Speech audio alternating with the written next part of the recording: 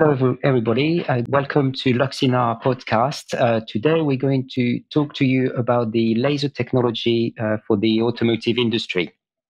Uh, in the following slides, uh, we will uh, address different topics, and we will first start with a brief history of, of the company, where we are located and our facilities, our product range. We also look at the markets where our lasers are used and we will finally touch on three uh, CO2 applications for the automotive industry. And the last topic uh, I'll uh, like to touch about is the application uh, lab where we can process samples. So Luxinar uh, has been established uh, in 1998, 22 years ago. And over the last 22 years, we have launched some major products to the marketplace. Uh, for example, the uh, multi-scan uh, VS and HEs, which have been the, the fastest marking system in the um, available in the market, and they are still today the, the fastest CO2 laser marking systems. We have also introduced in 2004 a 600 watt laser. That was the first ever uh, sealed 600 watts laser available on the market. And for that technology breakthrough, uh, we win we won a Queen's Awards uh, for innovation. Uh, we built on this success, and over the the, the coming the following years, we also got a, a, second Queen's Award for international trade and growth uh, in export markets, and we reached a turnover in excess of 30 million uh, pounds uh, in 2017. Last year has been a major um, year in, in, our history. Uh, we rebranded the company and we are now uh, Luxinar uh, Limited uh, in the UK. Uh, we've launched the uh, the new branding at the exhibition, laser exhibition in Munich last year. So we are, as I briefly mentioned earlier on, a, a UK company. We're based in the northeast of uh, of England. Uh, we've got a brand new factory uh, which has been uh, built uh, according to to our uh, needs, and we moved into this factory in 2018, 2016. Sorry, we are 173 employees at the site, and we also have six uh, sales offices, uh, uh, two in Southeast Asia, two in Europe, a sales office also based in the HQ in um, in Hull, and a sixth one in Detroit. All these offices have sales and technical support facilities so we can uh, support technically and uh, from an after sales point of view all our customers uh, around the world. In terms of our, our product range, we've got two families of, of products. Uh, the sealed CO2 uh, laser sources and the multi-scan marking system, which I've touched earlier on, is the fastest in, in the marketplace. So for the uh, the sealed uh, CO2 laser, we've got a, a, first range called the SR series, and this one is from 80 watt to 250 uh, watt. These are pretty unique in, in, the marketplace because they are IP66 uh, uh, rated, which means they are fully sealed and there's no ingress of any kind of water, dust, or, or any elements which could contaminate the, uh, the beam.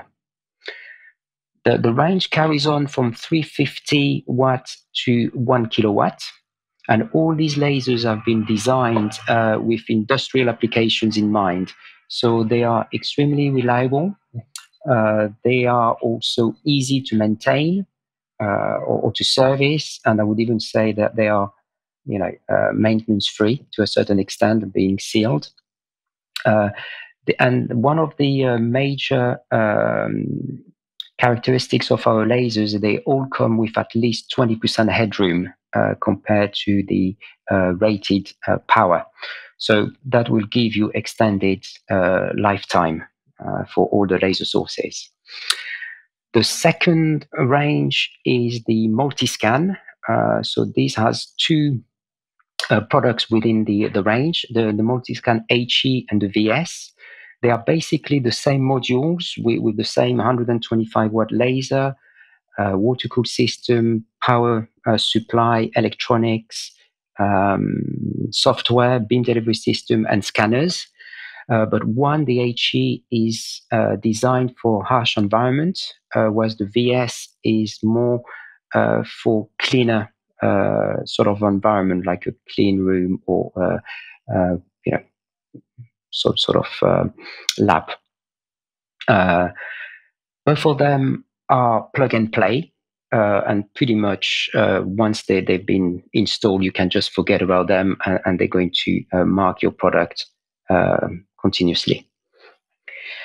Uh, in terms of the uh, the markets uh, where we, we operate and where our lasers are, are used, here are some some examples of, of the markets. obviously, the, there are far more applications, but I would say these are the most significant ones. Uh, ranging from uh, medical, glass, fashion. Uh, fashion is an interesting one. this is for finishing the denim and making the um, the jeans stone washed looked like, and and also worn off. Electronic market, packaging, where we would do uh, kiss cutting for, for example, uh, stickers and, and labels, and uh, food and beverage industry, where we're going to make some micro perforation uh, to allow the uh, the packaged uh, vegetables and and uh, fruits to, to last longer on the shelves. And one we're going to talk more specifically today is the automotive market. So within the automotive market, we've listed here uh, 19 applications where our lasers are used.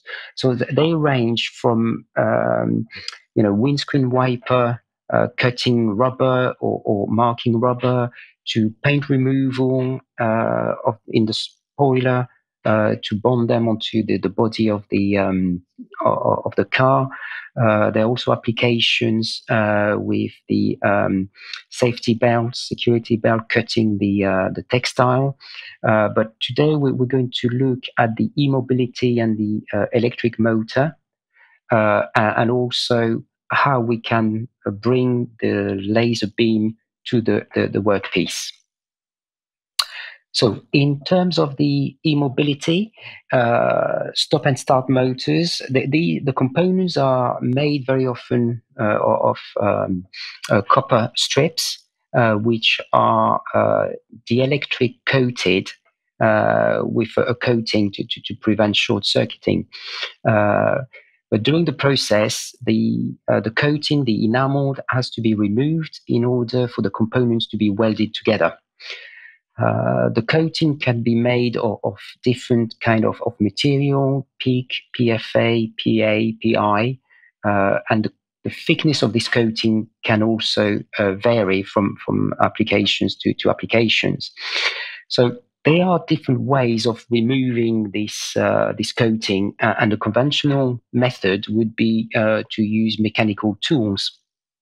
Uh, there are several issues with, with, this method. The first one is a that it's a contact uh, kind of, of process, so uh, you're going to damage the the surface of the copper. But most importantly, you're going to remove a thin layer of copper the copper is an extremely expensive material, and therefore you don't want to, to lose the, these uh, fine particles of, of copper over a period of time. It, it could be worth a lot of money. Uh, so an alternative would be to use CO2 lasers. Uh, this is a totally contactless uh, process, so you don't damage the, the, the, copper surface.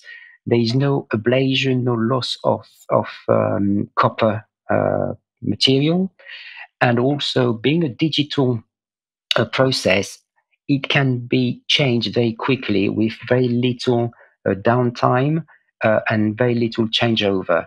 Uh, no tools or very limited number of tools are required in, in this process. So, very versatile, uh, very flexible.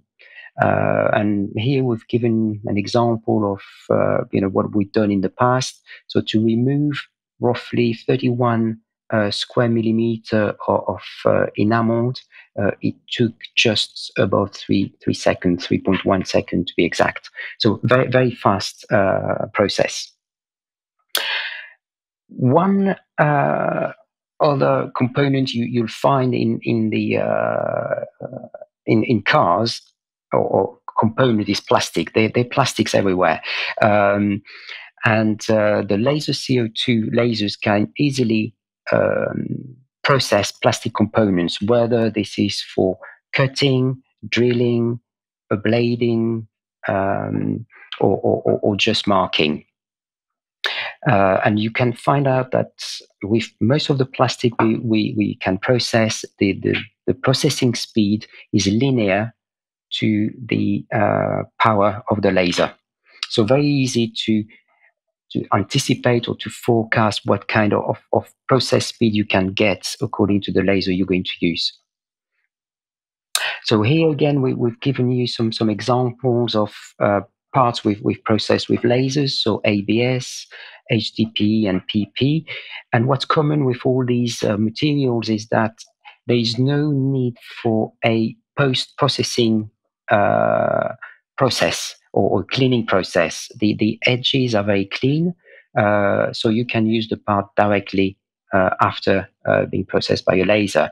Again, it's a digital tool, so uh, no investment in, in tooling and jigs or, or very uh, limited investments, and the changeover and the downtime is also extremely quick. So what, what's interesting with laser is that yes, you can process all these components, but how do you bring the laser beam to the workpiece? And here we're going to talk about robotic applications. Uh, obviously, on the production line, automation and speed is, is key. So having uh, being able to uh, bring the, the, the work the, the laser to the workpiece uh, from an automated point of view and, and a robotic point of view is extremely attractive for uh, uh, car manufacturers. One method, uh, as shown here, is to mount the laser on the robot. Uh, and, and that means that the, the laser has to withstand uh, several G's, uh, acceleration forces, uh, when when the, the laser when the, the robot moves. And our lasers are designed to to uh, to handle these uh, acceleration forces. they're also lightweight, which means that the, the, laser doesn't need to be you know heavyweight sort of of laser structure, robot structure. It's it's well uh, designed for, for this kind of application. Uh, but you will need a uh, fairly complex uh, beam delivery system with either a scanner or a cutting edge at the end of, of the laser to, to, to process the, uh, the component. So that's one method of, of bringing the, uh, the beam to the workpiece.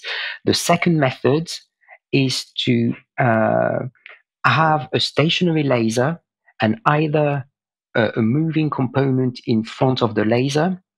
Uh, and that's what's shown in the uh, video uh, at the top of the screen, where the dashboard is presented in front of, of, the, uh, of the laser beam and manipulated to show the different um, faces to, to, be processed. Uh, here, uh, these are micro perforation on the dashboard um, called pitching. The, the second method is also to have a uh, stationary laser on, on, a frame, for example, but now the uh, the beam will be taken to the workpiece through a robotic arm, and this is what we, we're seeing here. Uh, the um, the laser head is cutting excess material on uh, A pillars in, in the car, uh, and the robot is only handling a lightweight articulated beam delivery system. Uh, the laser is on the white frame right at the back of, of, of the screen. Uh, you can just see the, uh, the, the frame on which it sits. Uh, we're going to see the the laser uh, slightly you know better light uh, incoming. Here it is, right at the back. So here the laser again as I said, is stationary, and the robot is only handling a lightweight beam delivery system. You have on the uh, in the left hand corner the finished products where all the excess material has been taken off. Uh, so to, to support our, our, customers in terms of proof of concept, we have a uh, an uh, application lab uh, in, in Hull at the headquarters. Uh, we also have smaller labs uh, in, in, different uh, offices around the world. But here, what we do is, as I said, really proof of concept. a customer has an idea of, you know, making holes or, or cutting material on a component for automotive, for example. They will send us uh, some samples, and we are going to use a range of uh, uh, equipment to uh, be as close as possible to uh, the, the, process they're going to design. So, as you can see, we've got a, a robot cell uh, where we're going to have um, a cutting head, which is going to be uh, manipulated by a robot to follow the contour of uh, 3D uh, complex uh, components, exactly as we've seen in the, the previous video. Or we could also have a 3D uh, scanner arrangement, that's at the top of the, uh, of the slide here, where we can process fixed large working area. Um, so we will choose the, the, the, right equipment according to the customer specifications. And we have obviously some uh, measurement equipment to make sure that uh, what we've done for the customer can be uh, measured uh, and also meet their specs. So here again, uh, I want to emphasize these are only equipment, pieces of equipment used for the uh, proof of concept. we do not sell uh, the, the full system. It is really to, to help the, the customers uh, designing their, their own solutions. If you want more information about you know what uh, the laser uh, can do, uh, feel, feel, feel free to contact us. Go on our website where you're going to find far more information. Uh, but in the meantime, uh, you know we've got uh, 20 years of experience, so we should be able to support you in many different ways. Our lasers are from 80 watt to a kilowatt, so we should be able to accommodate uh, most of your applications. Uh, and we are not restricted to the automotive industry. Uh, the, the example we've taken today uh, during the web um, conference was just an example, but we, we operate in far more uh, markets and sometimes even market we can't think about. So, you know, be adventurous and just send us your your uh, your samples. Um, here today, we've seen some specific applications on e-mobility, plastic uh, parts processing, uh, and robotic applications. But again, uh, we are involved in packaging. Um, electronics so again you know don't hesitate to, to contact us and our lab will um, help you in your proof of concept and finalize your your your ideas and your um, design.